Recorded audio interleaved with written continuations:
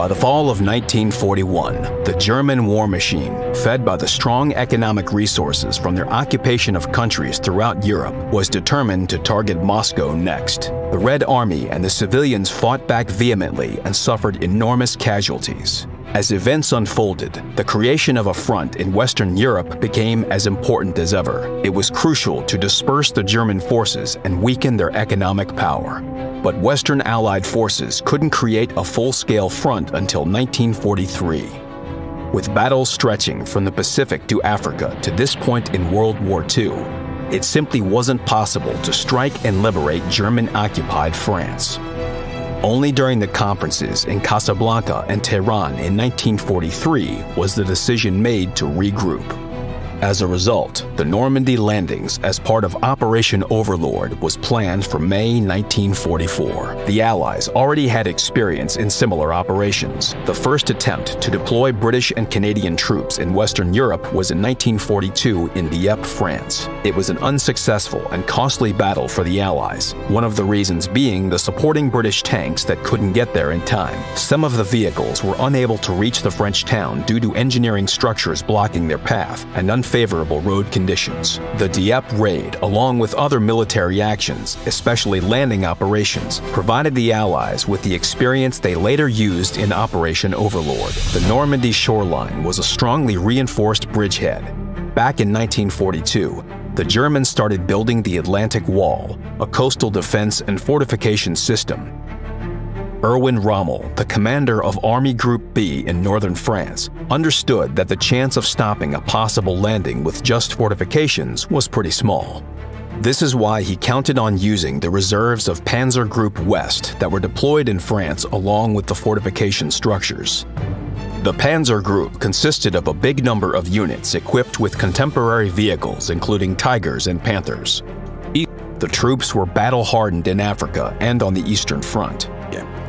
The Allied landing was guaranteed to be hard and demanding. In the meantime, the Allies decided on the landing spot. It needed to be close to the British Isles so that the Allied Air Force could efficiently support the landings and engage the Germans. Also, landing heavy vehicles required proper beaches that were suitable for heavy vehicles. The most fitting places were on the coast near Calais, Normandy, and Brittany. The idea of landing in Calais was declined as it was seen as the most obvious. The Germans thought so too. They posted military reserves there and the region's defensive structure system was reinforced. A risky decision was made. The landing must happen on the Normandy shoreline. However, they were far from ideal for this purpose. The German forces were least expecting to encounter the Allies here, as they reasoned it was impossible to perform long combat operations without the access to infrastructure of a large port. To solve this problem, Allied forces developed artificial mulberry harbors and a piping system to provide fuel straight across the English Channel. Tanks played a very important role in the operation, they would cover the infantry and help with the advance. But how do you deploy vehicles at the same time as the infantry? How could these heavy vehicles traverse the beaches and German engineering structures? The tanks were modified with additional modules for this purpose. The Americans invented deep wading kits to traverse shallow waters. Every hole in the hull and turret sides were sealed to be waterproof. And the air intakes were equipped with special devices. Their upper parts were easy to remove, decreasing the time needed to make the tank battle ready. This helped to considerably increase the maximum forwarding depth. Duplex drive was a more radical modification that converted a tank into an amphibious vehicle. A metal frame was attached to the tank's hull that held a deployable rubbered tarp screen. The screen was raised with the help of rubber tubes filled with compressed air, which made the tank buoyant, and it could move with the help of propellers. It was lowered into the water from the landing ship along with the infantry. The British side decided to focus on the vehicles that could surpass the German engineering structures and defenses. This task was assigned to military engineer Percy Hobart. His inventions were named Hobart's Funnies. One of his most peculiar funnies was the Churchill AVRE, Instead of the standard 6-pounder gun, these vehicles got a 290mm petard mortar with incredible firepower that was meant to destroy reinforced walls. Another of Hobart's funnies was a Churchill modified with a flamethrower that was called the Churchill Crocodile. The flamethrower was mounted instead of the Hull machine gun, and the fuel was towed in an armored wheeled trailer. The mine clearing crab tank cleared the way for heavy vehicles, and the bridge laying Churchill Ark helped them cross tough terrain. Almost everything was now ready. However, the weather had to be considered as well. For a successful landing, a good tide was necessary, as landing vessels could be damaged by German underwater defense structures. Also, the British wanted to expand the landing territory. As a result, Operation Overlord was shifted to June 1944. Three British landing zones were defined Gold Beach, Juno Beach, and Sword Beach, as well as two American ones, Utah Beach and Omaha Beach. The British command allocated a separate tank unit for each zone. Hobart's 79th Armored Division and their funnies were operating on Gold. On June 6, 1944, at 7:25 a.m., hundreds of soldiers of the 1st Battalion Hampshire Regiment heard the ashore command.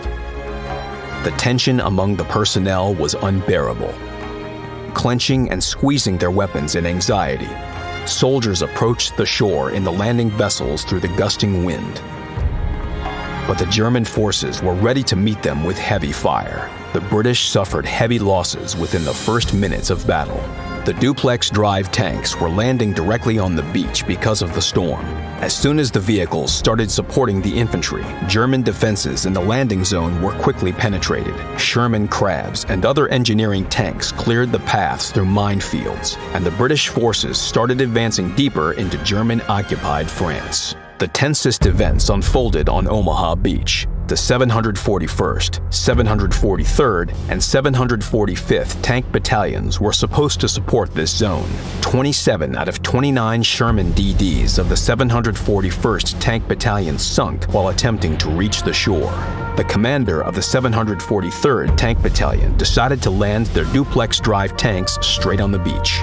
A part of the 745th Battalion's tanks, along with the command staff, couldn't reach the shore until 10 a.m. on the 7th of June because of the storm and heavy fire. The situation with the Allied forces seemed very dire in some places. The troops were an easy target on the open shoreline, which led to colossal losses. 4,000 men were killed or went missing in action that day on Omaha Beach alone. However, the Germans didn't manage to place their reserves and coordinate the actions of separate units, which played into the Allies' hand. This, along with the work of tankers and the engineering equipment, helped retake and expand the landing zones further and hold the bridgehead. After the Allied landing, their forces would go on to liberate France from German occupation and pierced through western boundaries of Germany despite heavy losses.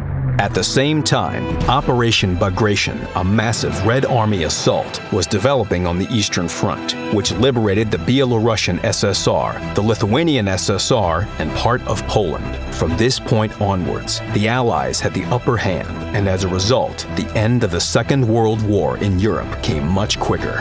Operation Overlord was the largest landing operation in history. The great and valiant contributions of the UK, the US, Canada, France, France, Belgium, Netherlands, Poland, and Norway all played their part in the victory on the Normandy shoreline.